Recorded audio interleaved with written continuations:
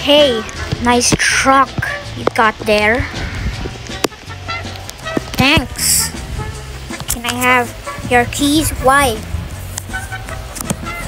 Because I just want to see the the thingy where you start your car. I just wanna hear it.